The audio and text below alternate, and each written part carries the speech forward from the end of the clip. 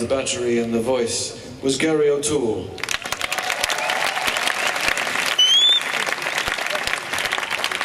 So many of these songs ended up sounding a little bit symphonic in nature.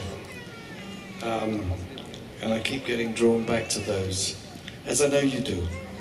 Um, so, to honour the ghost of Mellotron's past, here's something from Nursery Cryme. And I have to say, I love playing it with these guys on stage. This is the Fountain of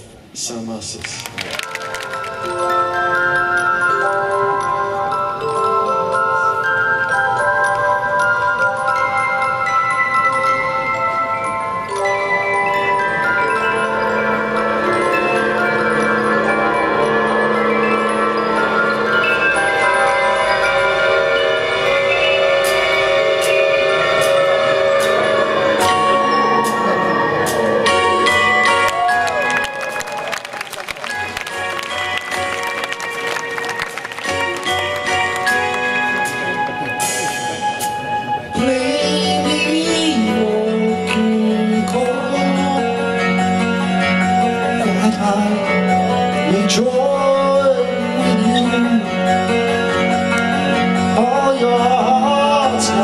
Seem so far